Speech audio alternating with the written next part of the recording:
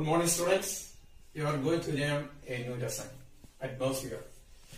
Let us see that what are the main content of this lesson.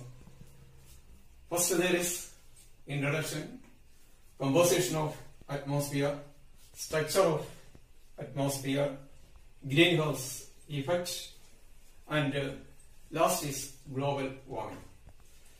Let us see that how the atmosphere is uh, defined. It is defined as a blanket of air that surround the earth. Then let us see that what are the main composition of atmosphere. So this is given even uh, in your textbook. So from this diagram you can see that here 21 uh, percentage is uh, oxygen and 78 percentage is uh, nitrogen and 1 percentage is carbon dioxide, argon and uh, many other gases. So there are many observations about the atmosphere. First is that density of air decreases with increase in height, which means that the volume of air is more at the lower levels of atmosphere than at the higher levels. So why this happens? This happens due to the two reasons. One is gravity and another is air is pushing down from higher to lower levels. Similarly, the, uh, the temperature also decreases with the increase in height. This is happening also due to the two reasons.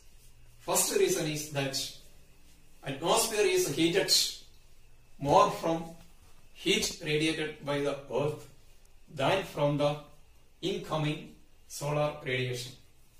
And the second reason is the presence of carbon dioxide, water vapor and many gases absorb more heat.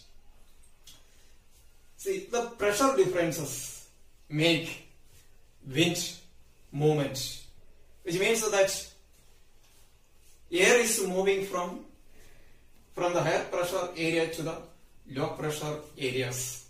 Higher pressure area reverts to the cold air and low pressure area reverts to the hot air. Means the hot air being light rises and to the cold air coming and take its place. And the next is that windy air also make a changes in the weather conditions. Means the wind is coming from the cold places can reduce the temperature of hot regions. The wind also carries moisture and gives the rainfall.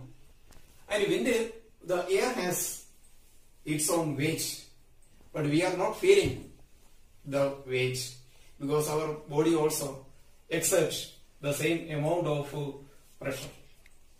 And another point with regard to this is that when one goes to the higher levels of atmosphere, the air becomes uh, thinner. Due to this uh, reason, the mountaineers carries oxygen cylinder with them. And another point is that air pressure is very high at the sea levels compared to the other places. So there are three factors affecting the atmosphere. Let us see that which are the three factors. The first one is altitude, second is temperature, and the last one is water vapor. So let us see that how these three factors are working. Means the air pressure decreases with increase in height at the rate of 1 centimeter for every 110 meters. Means as the altitude increases, the air pressure decreases.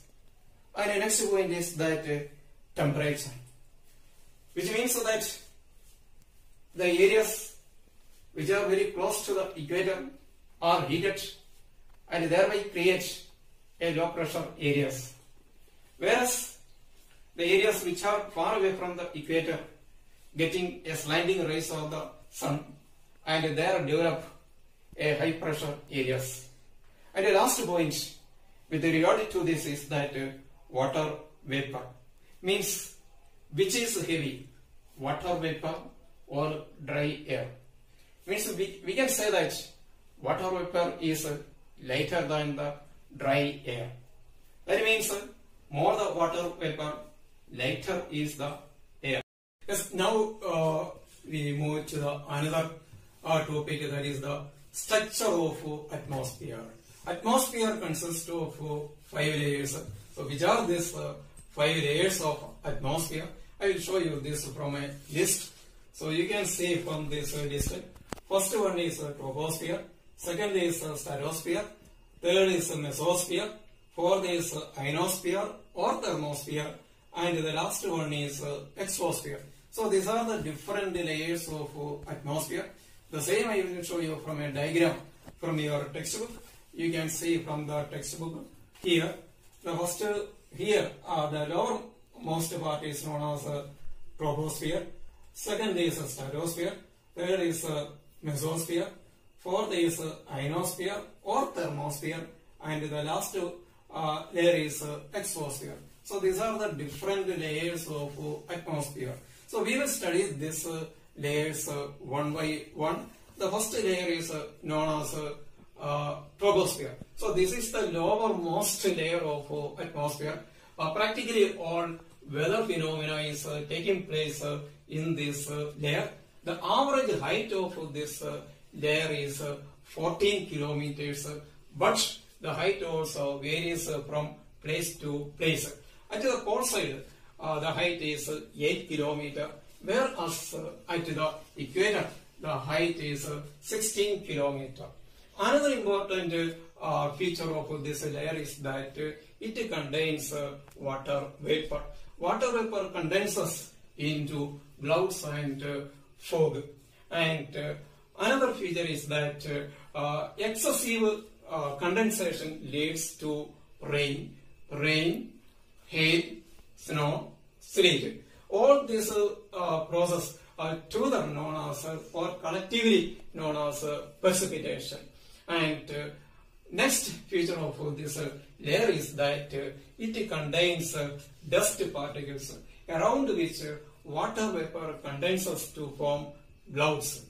And finally, the last feature of troposphere is that uh, in this layer, temperature decreases with increase in height.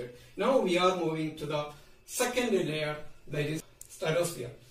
This layer extends uh, between 15 to 50 kilometer or in latitude wise uh, it extended between 50 to 60 degree latitude. The, one of the main uh, feature of this layer is that temperature does not uh, change much in this uh, layer. And practically no weather phenomena is uh, taking place.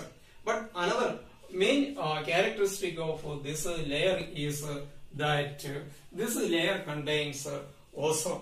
Means uh, about which you have studied in your previous class. Ozone layer is very important which protect the earth from the ultraviolet radiation coming from the sun. And the third layer you are going to learn is that the mesosphere. It extends uh, from 50 to 80 kilometer. And uh, the main feature of this uh, layer is uh, that uh, meteors uh, coming from the space get bent in this layer due to friction. So meteors means it is a small pieces of rock uh, that also get bent in this uh, layer. And the next layer is known as ionosphere or the thermosphere. The main feature of uh, this layer is that uh, this layer contains molecules and atoms. So this uh, molecules and atoms are electrically charged. The, this process is known as ionization. So this is occur due to the presence of ultraviolet rays, X-rays and gamma rays. So this enables this layer to make radio communication. And the, the last layer is known as exosphere. So this is the outermost layer of atmosphere and in this layer uh, in small amount the presence of hydrogen and helium is found.